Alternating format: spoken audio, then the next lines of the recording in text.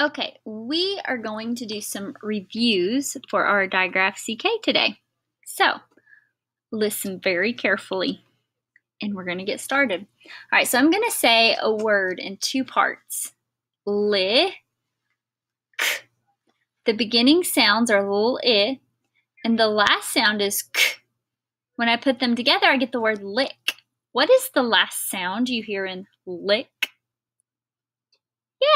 The k sound is the sound we hear at lick. So let's all say k, k, k, k. Now I'm going to say another word. Are you ready?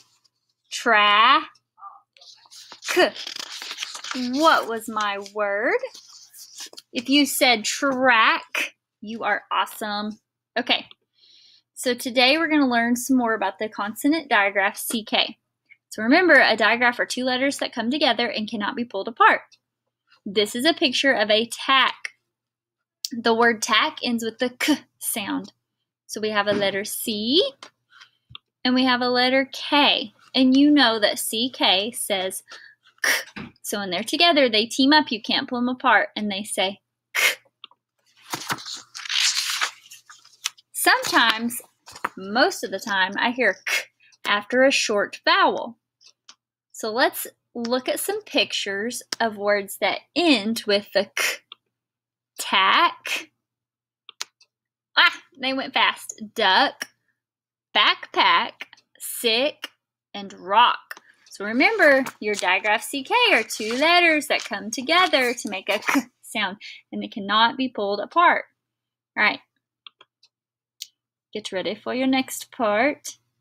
So for this part, if you want at home, you can get a piece of paper or your mat that you can ride on and erase with, and we're going to do this together. Here we go. Now we're going to work to practice um, using the k, the ck to spell the k at the end of words with short vowels.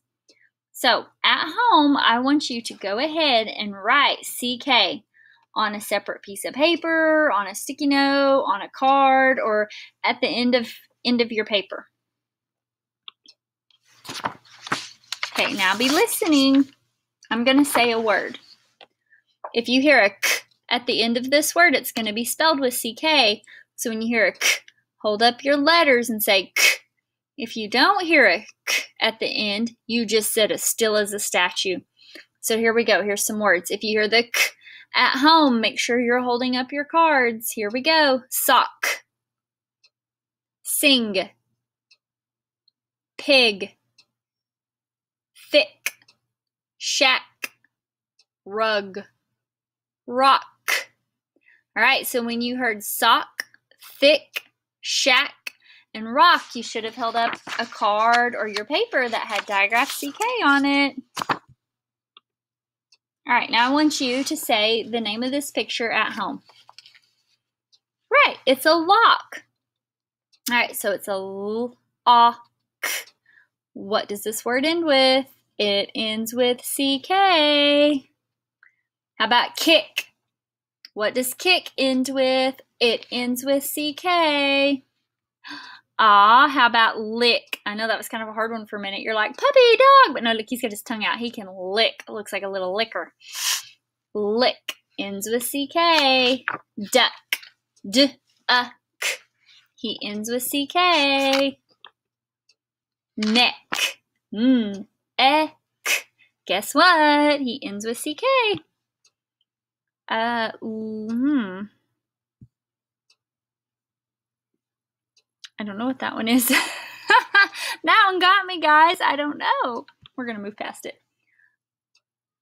We're going to move past that one too because I'm just not entirely sure. Lock, I guess, and rock. So rock, r, ok. Backpack. Hey, back ends with a k, and pack ends with a k, and they both are ck. All right, so listen one more time. We're almost done. Um, which one of these two words ends with a ck? Stick or step? Shout it out at home. Which one ends with a ck? Stick or step? Shout it out at home.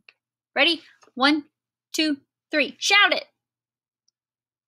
Yay! If you said stick, You are correct. It was stick. Nice work. You get to party down in Paris. Look, this is France.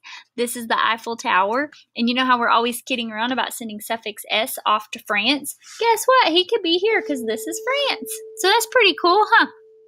Thanks for hanging in with me and doing the review of Digraph CK.